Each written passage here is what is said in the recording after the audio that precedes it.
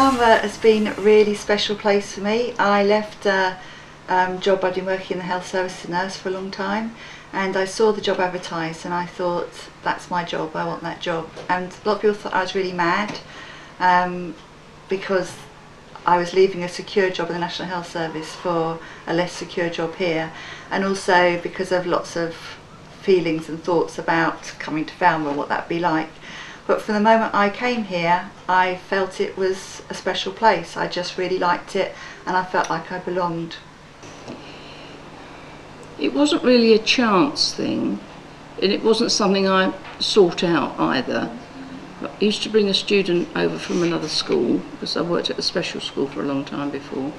Um, he was doing his GCSEs, and it was just all enveloping.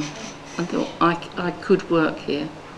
I have the skills that I can offer here, and that opportunity came up and I grabbed it. I come from an alternative background, so I'm a Steiner School originally, um, and I I was working at Uckfield, which is a lovely school, um, and I was working with the special needs students there, especially, and I really really enjoyed it. And they said to me, you know, the thing is, we'd love to have someone like you here, but you're going to get bored. You need more of a variety, and that's what we have at Falmer. We've got some superb, perfectly behaved at all time students, and we've also got some who find it harder but always striving. And what attracted me to here in particular was I knew a young lady who was working here and who said that it was her dream school and she was gutted she'd missed an opportunity to get the job here and so I actually filled the job she was leaving from um, and I think she was right because I think you don't find as much laughter and as much camaraderie amongst staff and students as you do here.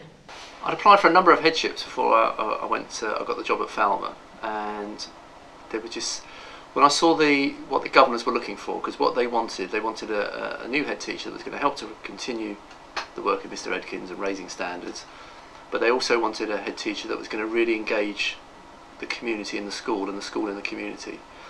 So obviously when I saw the advert I, I was very much attracted to the, what they were looking for um, but I was aware of the challenges and I was also aware of the reputation of the school and I think what sold it to me was when I arrived for interview just walking around the students meeting me um, the prefect that showed me around and you know was talking to me about the school and its strengths and weaknesses I just got a, a, real sense I wanted to work with these young people. I wanted to make a difference to their lives. I mean, plus the fact I, I was interviewed on a very sunny day and in the sunshine, you know, with those playing fields and the downs in the background, it's a lovely environment.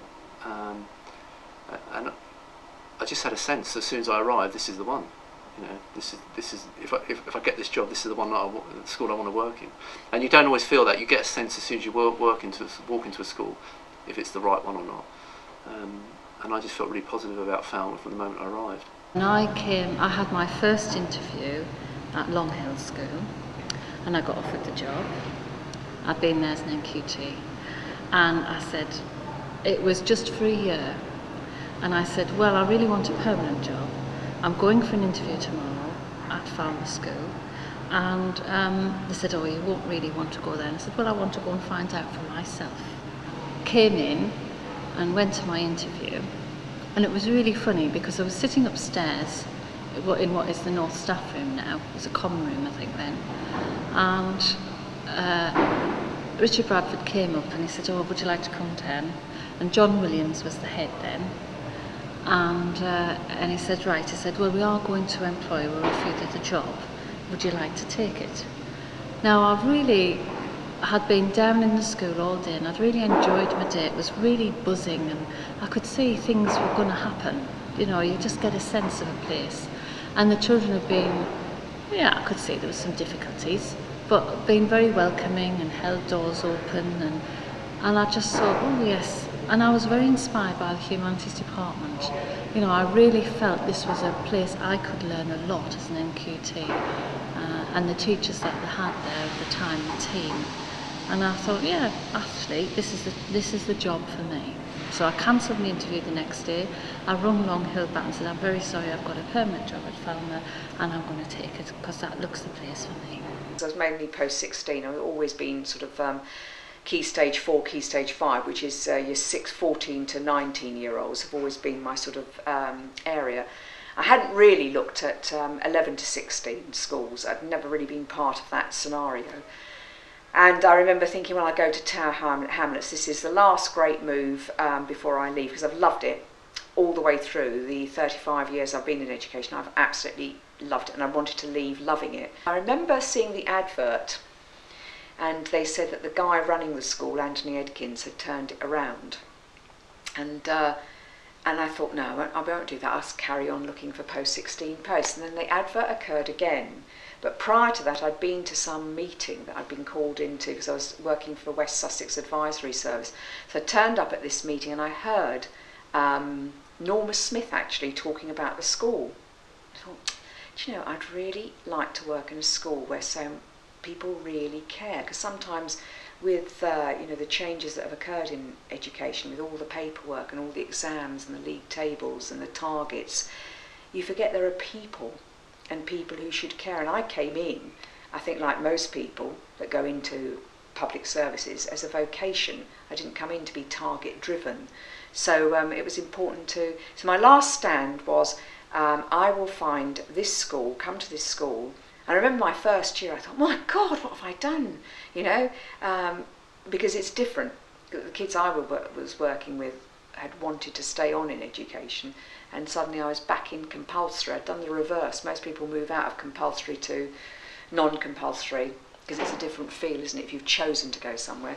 Whereas if you're forced to come somewhere, it's slightly different, isn't it? Um, no, and, uh, and have stayed, and stayed, and stayed. I suppose the proof is in the pudding. You know, I, I taught here for, as I say, 34 years, I guess. So it can't have been that bad. It's 34 years is a lifetime, isn't it? Really, a working lifetime for many people. So often, I've been struck by how brave and determined the children are. And they're role models to themselves, but also to us. They make you want to get up in the morning, they make you want to try again and keep going and strive for better. I just think it's been quite an honour to work at Falmer. It's a sad day that Falmer has actually closed down. Um, my intention was go to Falmer for five years. In the end, I stayed there 14 years.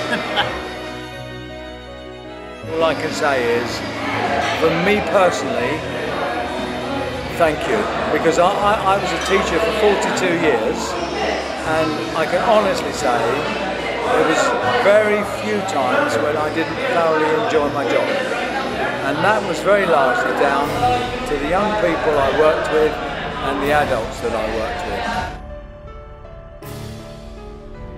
I'm walking away knowing that I've got some very fond memories of a brilliant place with brilliant people. They value each other, they stand by each other, they're loyal to each other, they care for each other. These are values that we have forgotten in our wider society, and I actually think we have a lot to learn from a community that does that. So, well done, well done, Moulsecoomb, well done, Falmer. I'm really proud of you. You've been brilliant.